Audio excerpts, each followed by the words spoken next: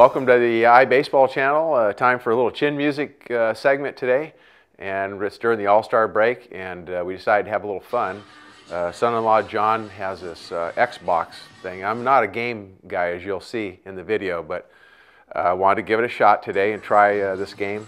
Xbox One, because with a guitar playing thing, so it's called Rocksmith, and it teaches you how to play guitar.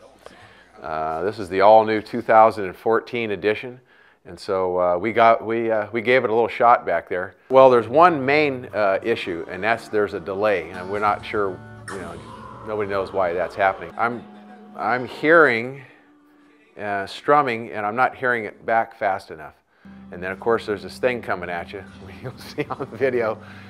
I'm not an Xbox guy. I'm not a game guy. I, was, I had trouble with Pac-Man. I did, though, knock out what I got the perfect timing. I, don't even ask me how I did. I was just guessing because the timing and everything was off with the delay and the thing coming at you. I'm going to not, you know, tear it up or build it up one way or the other right now because we're not sure what was causing the delay.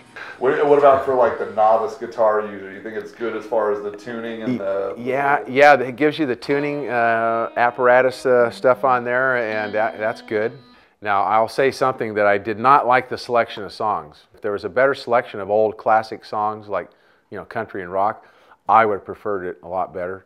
But, you know, it's 2014. That's my review right now of it. Uh, you know, I, even if the delay wasn't in there, I'm not so sure that I would uh, try it that much or enjoy it that much. For the novice, though, that's one string at a time, if you get that timing down, you know, and it, it can advance you up, that's that's okay. I know some people are able to learn like that, but for me, it was a little tough. We're here in the iBaseball Channel uh, studio today with uh, Roy Giovanoni and John Rowley and myself, and we just had a little fun with a, with a segment on a, a, a little review on some uh, training, uh, kitty uh, training devices that for an adult like me. And wasn't that good, but we gave it a shot. And so for the iBaseball Channel and our Chin Music segment, I'm Mike LaCoss and I'll see you again. Look, Roy, you rock. You rock. I got a score of 12,090.